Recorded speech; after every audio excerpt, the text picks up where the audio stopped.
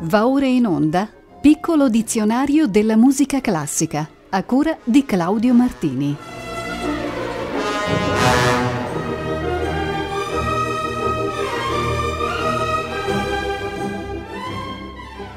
Buonasera a tutte e a tutti voi. Iniziamo la puntata numero 213 del piccolo dizionario della musica classica dal termine Si, la settima nota della scala naturale.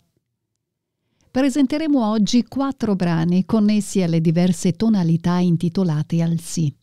Per illustrare il Si maggiore, ricorriamo al Preludio e fuga Bach-Werkverzeichnis 868, tratto dal clavicembalo ben temperato di Bach.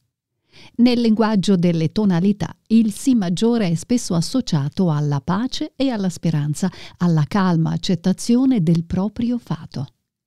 Nei brani in fortissimo esso richiama invece il carattere di audacia, di orgoglio e talora di rabbia e gelosia.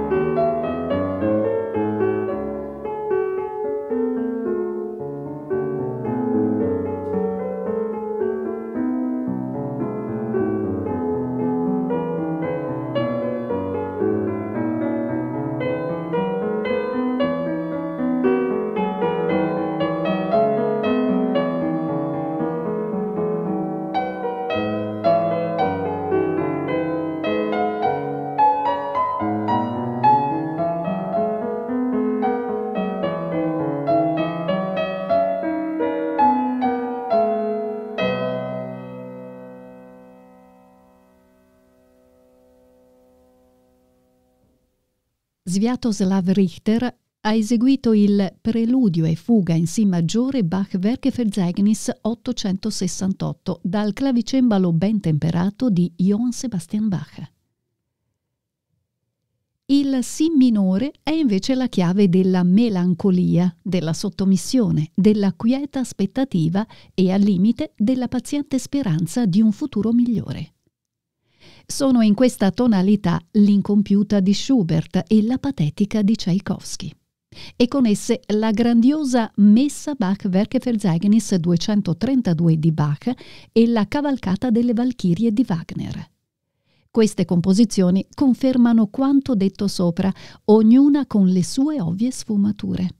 Ascoltiamo i primi cinque minuti della patetica.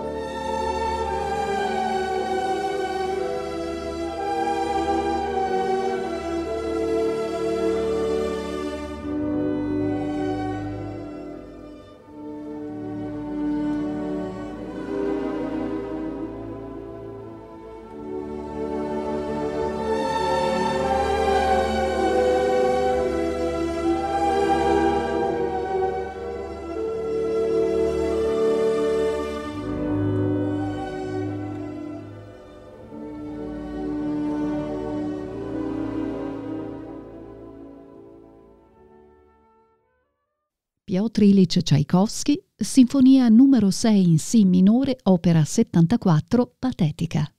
Yevgeny Mravinsky era sul podio della Filarmonica di Leningrado. Per il Si bemolle maggiore ci rivolgiamo invece a Boccherini e a uno dei suoi inconfondibili minuetti. Gli studiosi del significato delle tonalità attribuiscono al Si bemolle maggiore il carattere dell'amore gioioso, dell'ottimismo, della chiara consapevolezza. Quindi essa indica composizioni brillanti, aperte, franche, in qualche caso rivolte ad una serena meditazione.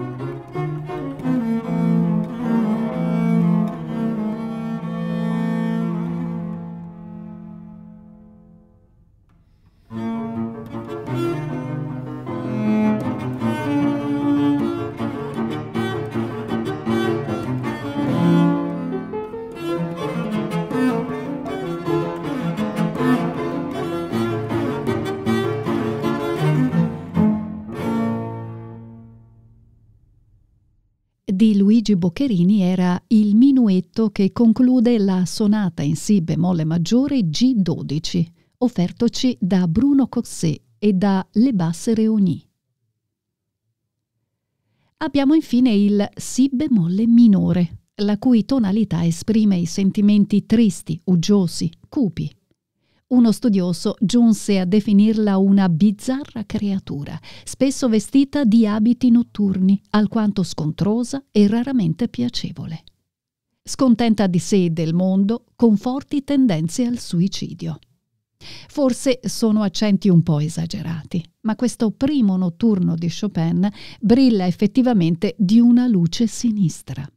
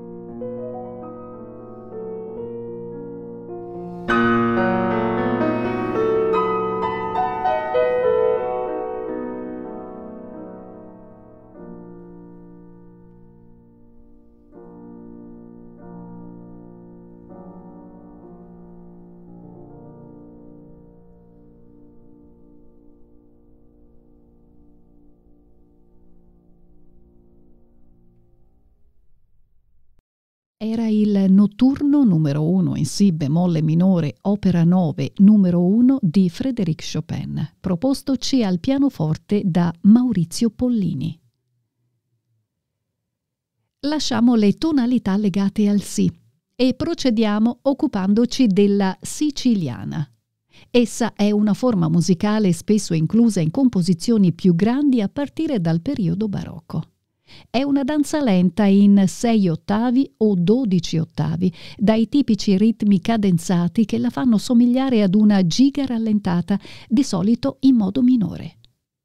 Fu usata nelle arie delle opere barocche o come movimento lento in lavori strumentali. Esso evoca un'atmosfera pastorale ed è caratterizzata da ritmi puntati.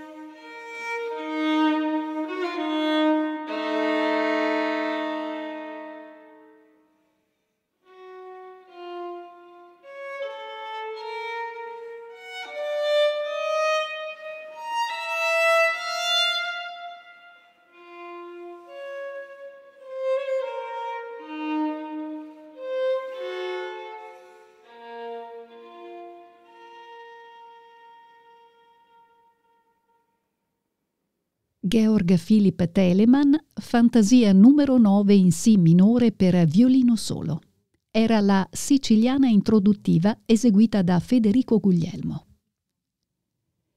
Eccoci ora al lemma silenzio, che potrebbe apparire incompatibile con la musica basata su suoni e ritmi. Invece, tante composizioni di oggi, ma anche di tempi lontani, assume il silenzio come elemento fondante o comunque come aspetto alternativo al suono, con il quale entra in una relazione dialettica o complementare. Ne sono esempi il cantare con silenzio di Scerrino, le pause del silenzio di Malipiero.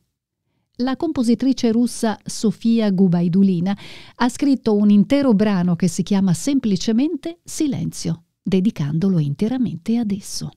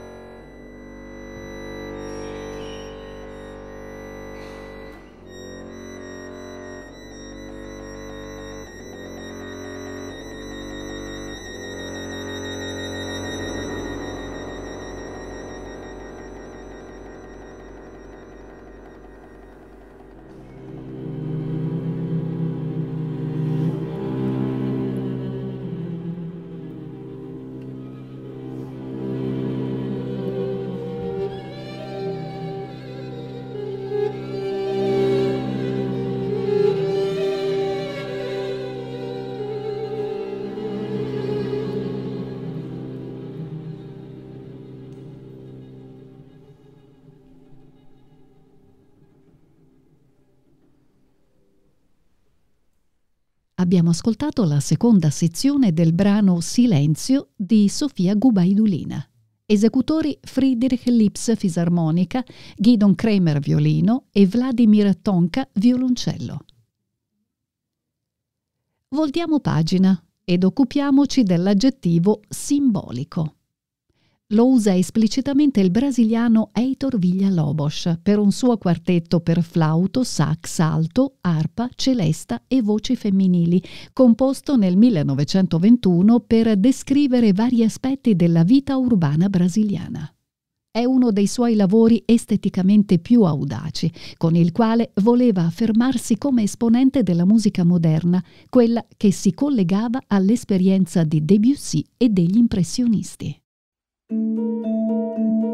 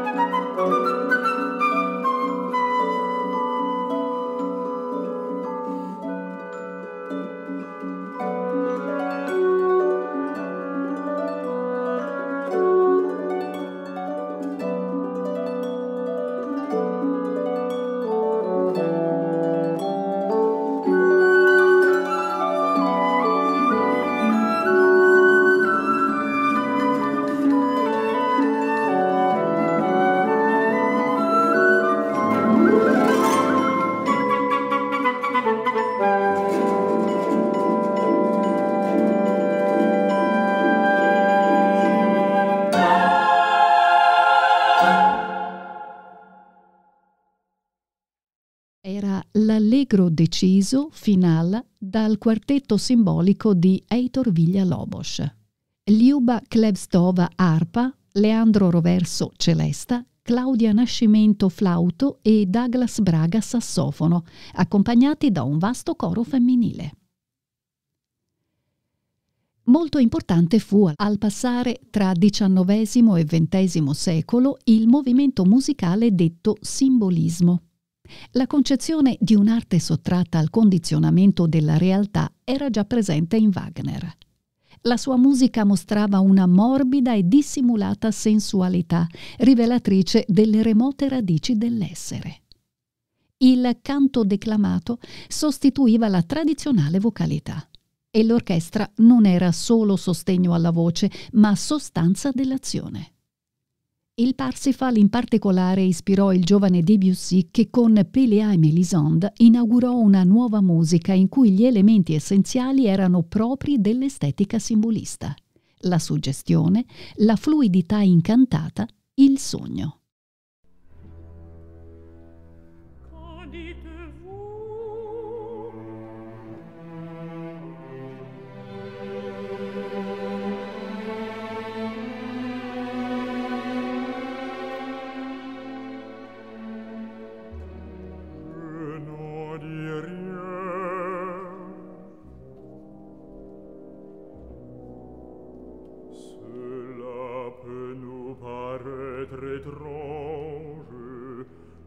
ce que nous ne voyons jamais que l'envers des destinées, l'envers même de la nôtre.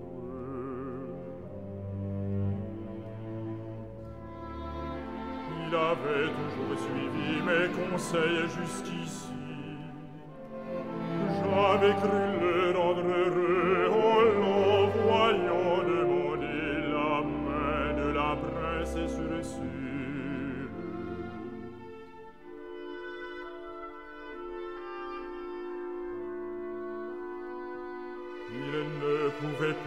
resté seul et depuis la mort de sa famille il est triste d'être seul et ce mariage allait mettre fin à de longues guerres à de vieilles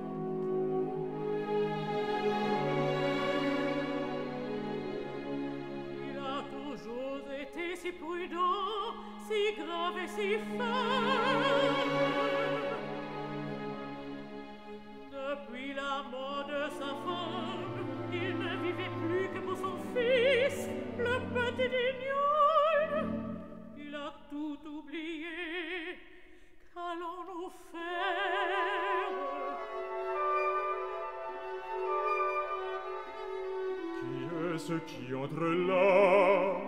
C'est Péléos Il en pleurait. Est-ce toi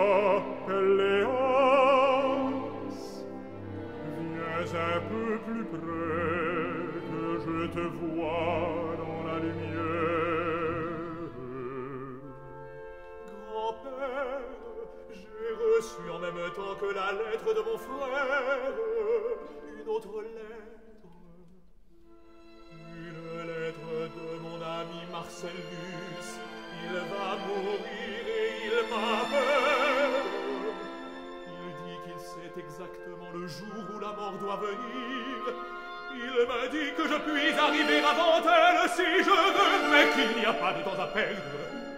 Il faudrait attendre quelque temps cependant. Nous ne savons pas ce que le retour de ton frère nous prépare. Et d'ailleurs, ton père n'est-il pas ici au-dessus de nous, plus malade peut-être que ton ami J'aurais dû choisir entre le peuple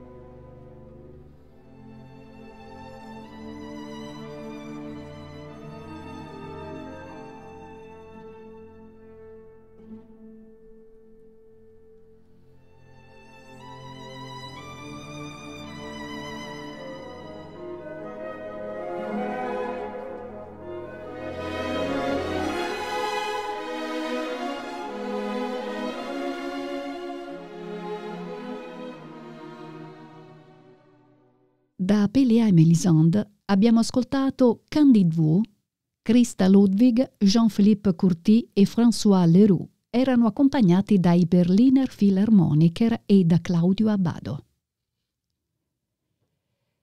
Facciamo una piccola deviazione nella lingua inglese per trattare l'aggettivo simple, semplice. Esso ci dà il destro per parlare della Simple Symphony di Benjamin Britten, lavoro del 1934 che è in realtà una sinfonia concertante per orchestra d'archi o quartetto. L'autore utilizzò nell'occasione pezzi che aveva scritto per pianoforte tra i 10 e i 13 anni.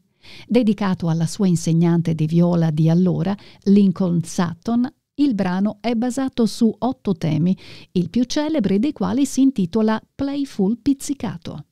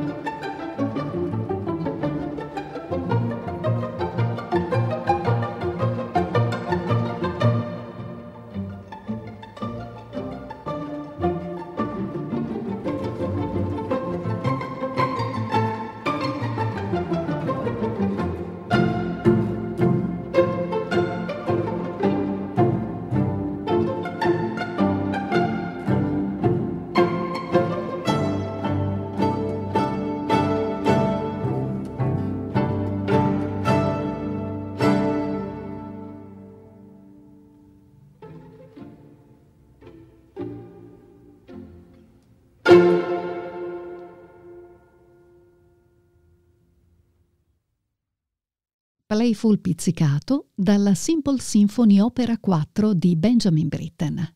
La London Chamber Orchestra era diretta da Christopher Warren Green. Parliamo ora della sincope, figura musicale usata assai frequentemente nelle composizioni di ogni tempo. Si tratta di un effetto che interrompe o disturba il regolare flusso ritmico e armonico di un passaggio di una composizione. Lo si ottiene con lo spostamento dell'accento ritmico della battuta da un tempo forte a un tempo debole. I suoni iniziano su un tempo debole e si prolungano sul tempo forte, contrariamente all'andamento solito. Il musicista olandese Theo Bruins, uno dei primi ad usare la dodecafonia nei Paesi Bassi, ha firmato un brano per clavicembalo chiamato Sincope e di cui vi proponiamo un breve assaggio. Thank you.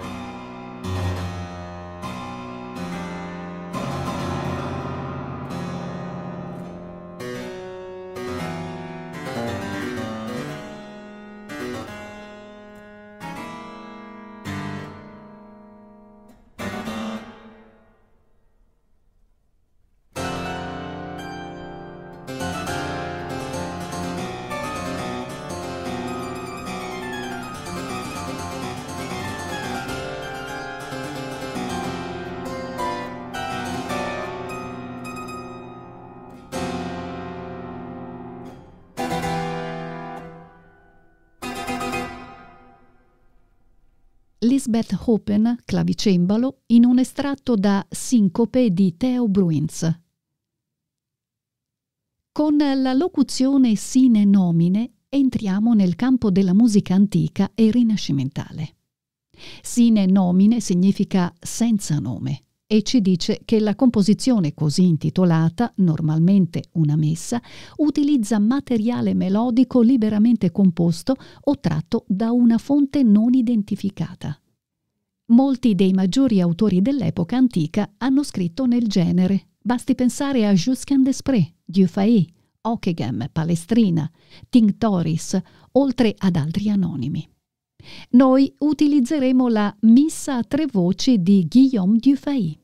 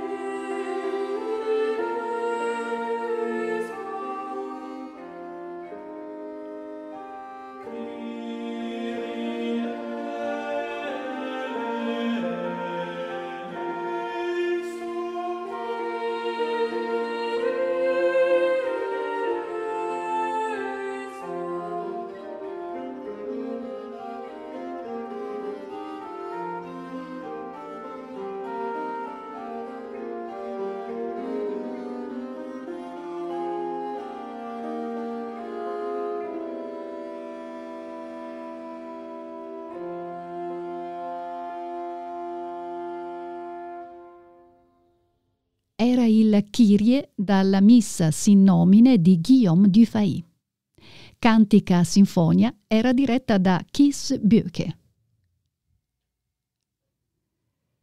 Completeremo la scaletta odierna con l'aggettivo singolare, usato da Franz Berwald per designare la sua terza sinfonia del 1845.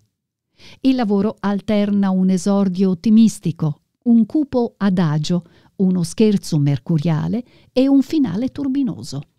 Forse proprio per questo prende il nomignolo di singolare.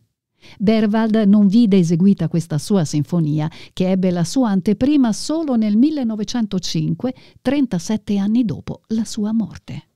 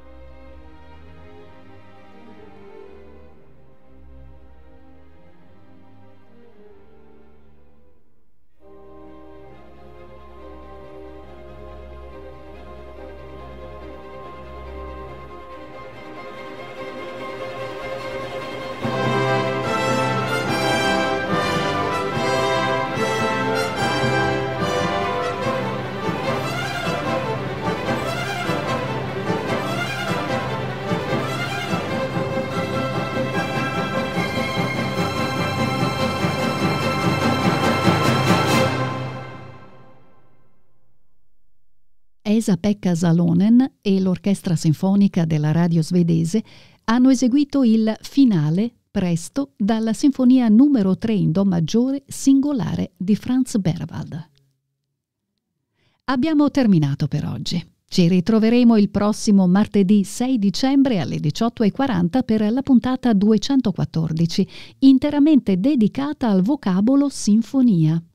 Non resta che augurarvi di cuore un buon proseguimento di ascolto con i programmi di Rete Toscana Classica.